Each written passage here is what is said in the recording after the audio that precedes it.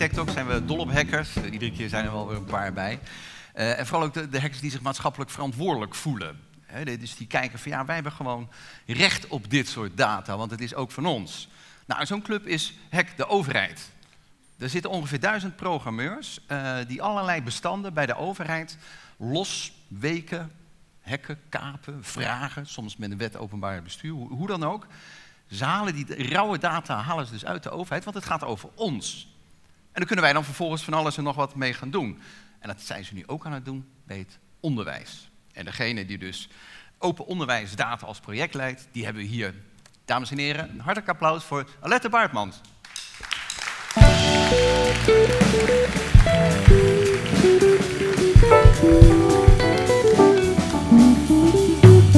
Hi.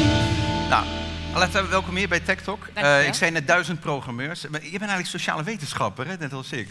Klopt. Hoe, hoe kom je dan bij die hackers terecht? Uh, ik kreeg een mailtje, bel me voor drie uur. Ze zijn heel communicatief vaardig. Ja. En uh, toen heb ik gebeld en toen uh, zochten ze een onderwijsspecialist die ook met hackers kan praten. En die gave die heb ik.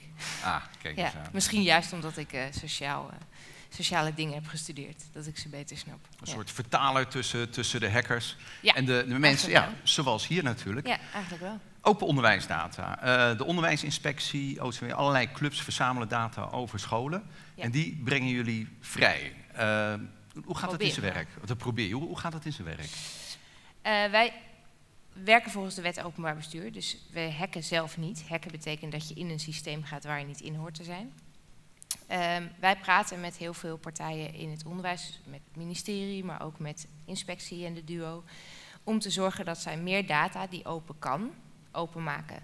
En open kan betekent dat ze niet privacygevoelig is. Hmm. Dus um, data die gaat over leerlingen of over docenten zelf. Dat is niet de data waar wij naar Het op gaat niet over individuen, Nee. het is Het samengevat. gaat over data waar wij allemaal van kunnen leren. Bijvoorbeeld over financiën van instellingen. Nou, daar zijn vaak, is daar wanbeleid. En dan horen wij dat via de pers. Maar dat zouden we eigenlijk zouden we daar constant inzicht in moeten hebben. Dat is een soort, soort recht van de burger, want, want we betalen Zeker. belasting, dus die Ja. overheid moet het ook laten zien. Dat Nou, kan ik me voorstellen, er zijn al veel bewegingen op dat gebied. Vensters voor verantwoording. De, de, de mensen uit het onderwijs kennen dat misschien wel. Echt een kikke website, daar kun je naartoe, daar kun je precies aanklikken van nou die school. Hè, daar heb je zoveel uitval, ze hebben ongeveer zoveel leraren per leerling. eh, financiën zijn wel of niet op orde. De gemiddelde cijfers op de site, je kan het allemaal vergelijken. Dat is eigenlijk wel open data dus. Nou, je zegt je kan het allemaal vergelijken. Ja. Dat is niet waar. Oh, dat niet? Nee, je kan het daar per school opzoeken. Dat is super interessant. Ja. Het is ook een hele goede beweging dat we samen nadenken over welke verantwoording, letterlijk leggen we af aan de samenleving. Eh, wat wij graag zouden zien, is dat die data ook open beschikbaar komt. Want Ja. u denkt misschien, ik kan het online vinden, dus is het open. Maar open betekent volgens ons dat het in formaten beschikbaar komt, waardoor eh, programmeurs, zoals programmeurs uit ons netwerk, daar ook iets mee kunnen. Hm. Ehm, de data, zoals je die ziet op Vensters voor Verantwoording, is best wel ingewikkeld. Als je je voorstelt dat een laag opgeleide ouder informatie wil inwinnen over een school en op Vensters voor Verantwoording terechtkomt, dat is lastig. Ja. En die data zouden we veel makkelijker beschikbaar kunnen maken. En wat wij ook graag zouden zien is dat de overheid niet zoveel geld pompt in dit soort systemen. Bijvoorbeeld Vensters voor Verantwoording heeft ruim 7 miljoen gekost. Dat is veel geld. Ja. Ehm, en wij denken dat dat beter besteed is door het, de data die we verzamelen en die scholen aan ons geven.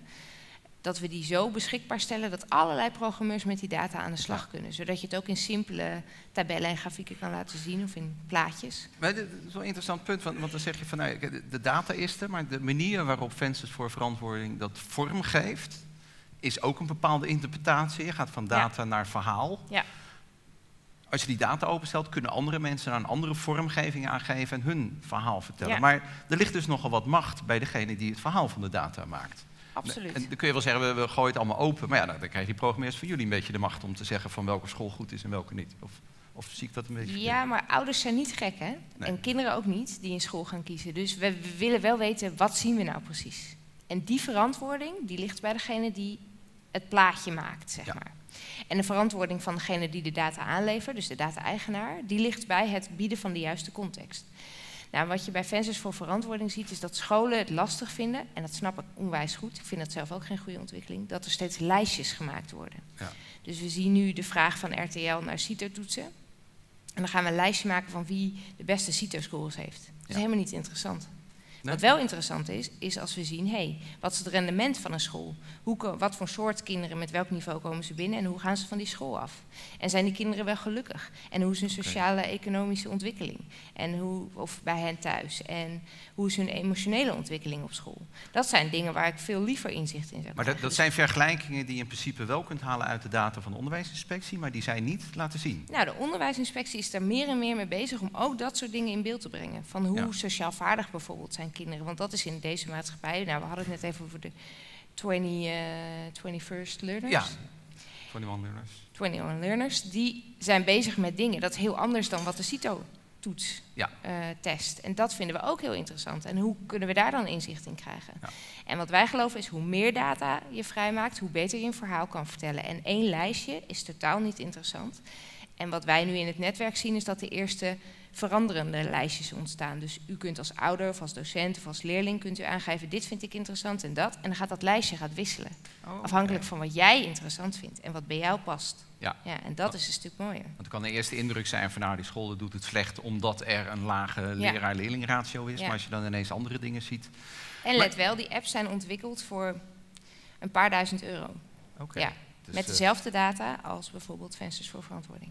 Die 7 miljoen kosten. Nou, lekker. Maar ik kan me voorstellen dat als je daar bij OCMW komt, eh, bij de onderwijsinspectie, en zegt van hé, hey, eh, we hebben een WOP-procedure, kom hier met die data, dat, dat ze daar niet blij mee waren. Hoe ging dat? Nou, ik had ten eerste geen WOP-procedure. Oké. Ik had wel getwitterd dat ik eh, de inspectie had laten scrapen. Dus dat we alle data van de website af hadden gehaald. Want ook bij de inspectie kun je per school kijken, maar niet scholen vergelijken. Dus we hadden eigenlijk een computer per school alle data laten ophalen en dat in één systeem gezet. En toen ben ik in contact gekomen met de hoofdinspecteur van het basisonderwijs in dit geval. En daar ben ik langs gegaan en hij zei, wat voor data vind je interessant, wat wil je hebben? En toen vertelde ik hem ook wat we gedaan hadden en welke data we al hadden. En eigenlijk stond hij daar wel achter. Hij Ja. ziet ook in dat dat wel de toekomst is. En hij wil ook samen met ons de context bieden aan die data. Dus wat dat betreft is het weinig strijd. Oké, dus we gaan wel mee Ja. in jullie verhaal. En je hebt er Een nieuwtje over, hè? Ja, wij gaan die data die we hebben gescraped, dus van de inspectie, en we zijn nu ook bezig met het inladen van Duo-data. Duo heeft heel veel open online staan, maar dat zit in Excel. Eh, die gaan wij inladen in een API, een online database, en vrijgeven per 29 juni. Ja. En dan gaan we samen in een datajournalistenlab met zowel de data-eigenaren, dus de inspectie en de Duo en het ministerie, als journalisten, als programmeurs, kijken van wat vinden we als we die enorme bak data bij elkaar leggen. Ja. En daarmee aan de slag gaan. Ik Ja. zal het even vertalen. Duo, dat is de dienst uitvoering onderwijs. En een API, dat is een application Online programming. database, ja. Ja, inderdaad. Dus- Dus dat je zelf de interface erop kan maken. Hè? Dus, Ja. dus we hebben die rauwe data, maar de vormgeving vertelt het verhaal. En dan kun je dat dus zelf doen. Ja. Of eigenlijk iedereen. Nou, we kunnen eigenlijk zelf vragen stellen aan dat systeem. Zoals eh, hoeveel scholen zijn er op dit moment zwak? Nou, dat is dan zwak volgens de inspectie. Maar we kunnen ook gaan kijken van wat betekent dan zwak? Ja. En dat is heel interessant. Ja, Ja. oké. Want net als dat leerlingen soms baat hebben zich slechter voor te doen dan ze zijn, zullen sommige scholen dat misschien ook wel eens doen. Hè? Want dan krijg je extra geld voor zwakke leerlingen. Of zie je dat niet terug in die data? Ja, wat we, kijk, in, ik zeg altijd, in het onderwijs zijn eigenlijk geen mensen die iets fout willen doen. Nee. Die ehm, op geld belust zijn of zo. Want ja, dat is niet echt in het onderwijs te halen. Daar weten mensen hier in de zaal alles van. Ehm, wat er wel interessant is, is dat iedereen wil dus het goede doen. Mhm. Maar er gebeuren heel veel dingen waar we allemaal van denken, oeh, dat zouden we eigenlijk niet willen. En een van de dingen is inderdaad dat er eh, geldstromen liggen, bijvoorbeeld bij kinderen met rugzakjes, waardoor scholen soms informatie doorgeven die niet helemaal juist is. Nee. Ja. Wat heel goed te begrijpen is. Eh, Heb je al wat reacties gehad van scholen? Want ik kan me voorstellen dat, dat er scholen zijn die, die zeggen van nou, eh, eindelijk iemand die kan laten zien hoe wij het wel echt goed doen of niet. Of krijg je ook juist weerstand? Zo van ja, wie denken jullie wel niet dat je zijn om over ons te oordelen? Hoe, heb je al wat reacties gehad? Eh, ik heb niet rechtstreeks hierover reacties gehad, maar ik praat. Ik kom op heel veel scholen, ook door andere werkzaamheden die ik doe. En ik praat daar heel veel over met mensen. En mensen vinden het over het algemeen super eh, interessant. Juist omdat ik ook zie dat het belangrijk is om met elkaar de context te bieden. Hm. En als je alleen gaat kijken naar CITO-toets, dat, daar ben ik ook niet voor. Ja. En dat is hetzelfde voor een school. Maar als je tegen een school zegt, wil je jouw verhaal bij de data vertellen, dan is iedere school geneigd om dat te doen. Want ook Ja. scholen willen laten zien, iedereen is en wil goed bezig zijn. Dus wat dat betreft. We hebben het over de toekomst van het onderwijs. Is de toekomst van het onderwijs dat alle data over alle scholen helemaal open is? Zolang het niet privacygevoelige informatie is, lijkt me dat een heel goed idee. Ja. En Ja. hoe voorkomen dat we te veel naar de schermen kijken en niet meer naar de leerlingen?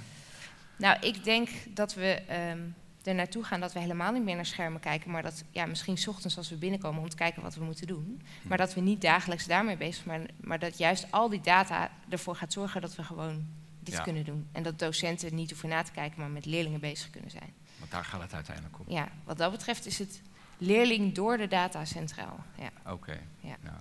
Dankjewel. Aleta Baarman. Dankjewel.